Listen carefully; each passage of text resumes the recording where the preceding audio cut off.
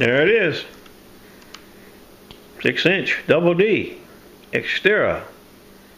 18.75 kilohertz, waterproof coil. I've been waiting all morning for it. It's uh, five minutes before two on Friday. I'm going to give her a spin here, I hope, in a few minutes, just for a short test.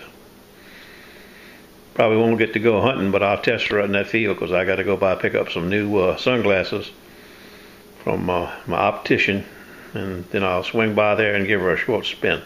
Okay, thank you, Kevin. See you later, buddy. Well, let me say this. The first thing I notice about this coil, look how thick the ears are. This way coils should be made. I mean, most of the coils that I buy, have bought, have in my possession at this time, have nice thick ears on. The uh, SE Pro had, stock Pro coil was kind of thin. But look at this, both these coils here. Look how thin they are. This is the 3 kilohertz concentric and the uh, 7.5 concentric is the same. You can see, look, look at that. It ain't too cool. A lot of people break them. I've never had any problems with them, but you can see how, especially when it's cold and they get brittle, they would crack. But I don't think you're going to crack this bad boy here. God, amazing. Pretty cool, pretty cool.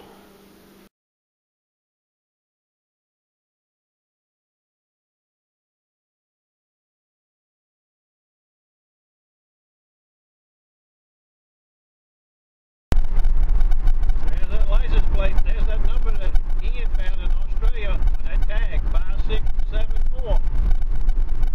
That's going to force me to play that number today. Look at that, right there, live and living color. Get on up there. As I'm going away to pick up my sunglasses. 5674. God knows. What do you think of that, there, Jack? Jack says, play it, Daddy, play it.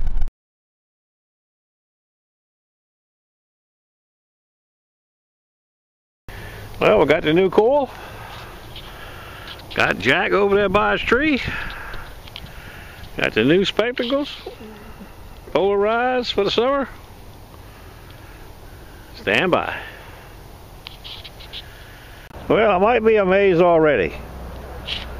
I've been over this one particular spot right here by this cedar tree that you've seen many times. I've been in this area many times right here. Right here, I get this iron sound. Let me take the unplug it so you can hear it. Hear that iron?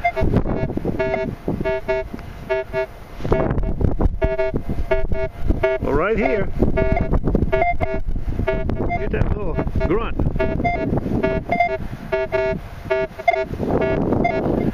Let me put it on 99 tones, you might be able to hear it better.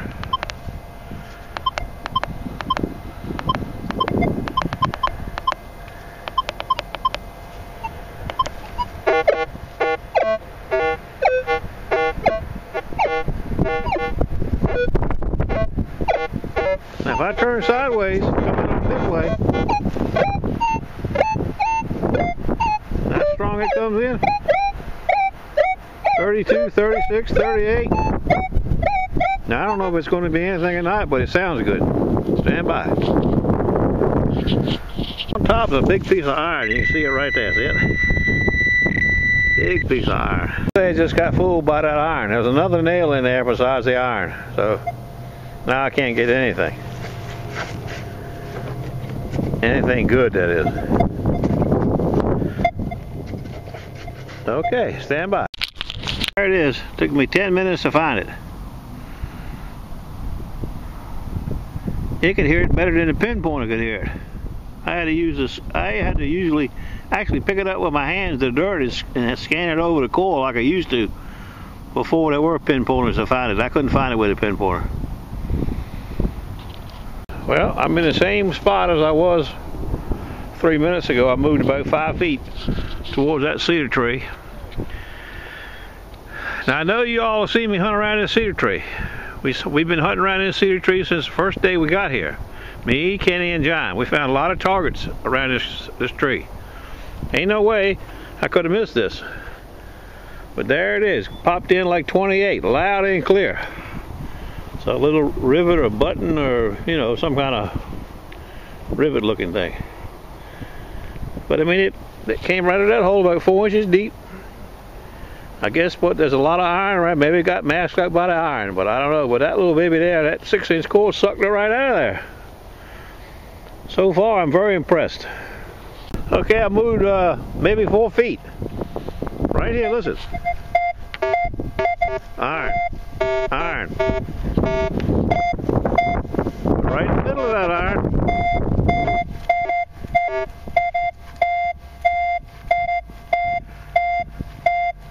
There's something good right there.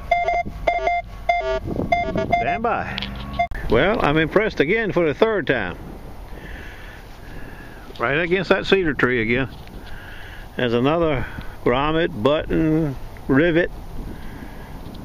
It looks like it had a piece of steel on it or pushed up against it. I get it home, I'll get it cleaned up a little bit. You can see it's got some kind of, looks like steel right on the dead on the top of it. But the back of it seems to be copper or brass. But she knocked that baby right out at 18. I don't know what's going to be in here, but it's a good sound. Four, four, six, and eight. Lots of glass. Look at the glass.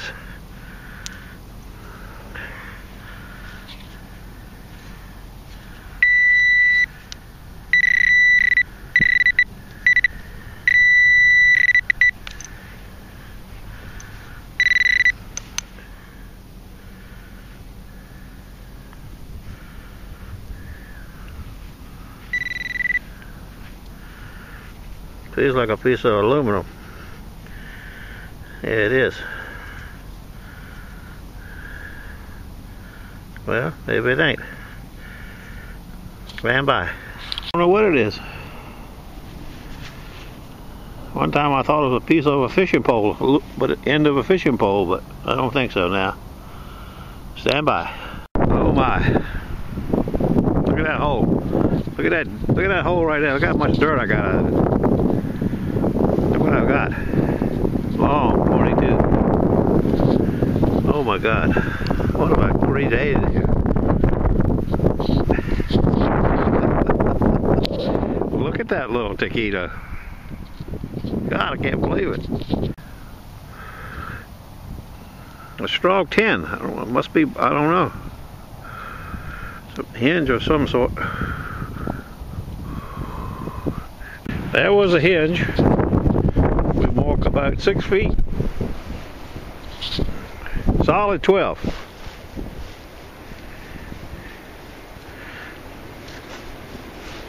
I know it's jumpy, but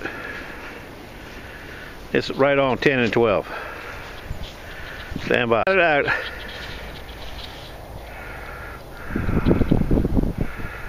Solid 4, solid 6.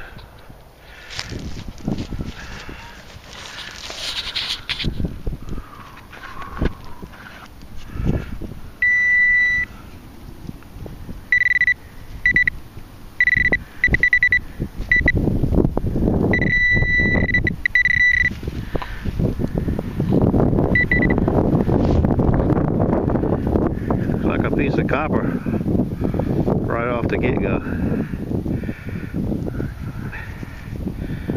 Some kind of Sharpie mellow piece. Copper maybe. Well, Junior opened up my eyes today. But I'm not sure it's a good thing. I mean, I know it's a good thing, but I don't know. Uh, now, like I said, we've been over this spot over and over and over and over and over and over with the uh, SE Pro, with the 7.5 concentric and the 3 kilohertz concentric over and over. And I take junior with junior coil with that 1875 double D 6 inch coil, and you can see what everything was missed. Now, how we missed that brass uh, hinge, I don't know.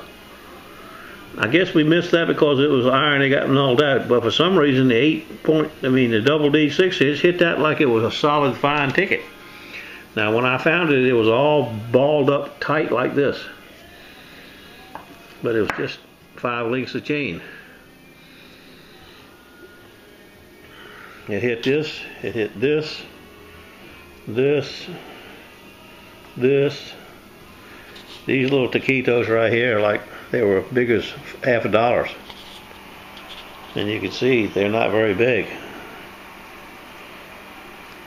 But you would have thought they were big.